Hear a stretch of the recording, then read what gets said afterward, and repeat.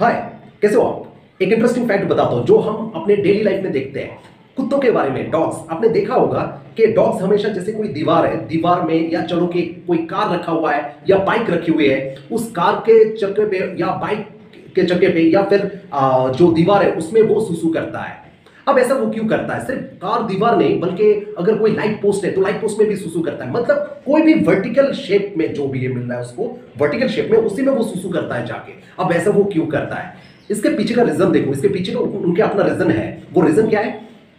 Actually कुत्तों का भी अपना एरिया होता है। कुछ कुत्तों का एक स्पेशल एरिया होता है, दूसरे कुत्तों का दूसरा एरिया होता है। और कुत्ते ये नहीं चाहते कि दूसरे एरिया का कुत्ता उसके एरिया में एंटर करे।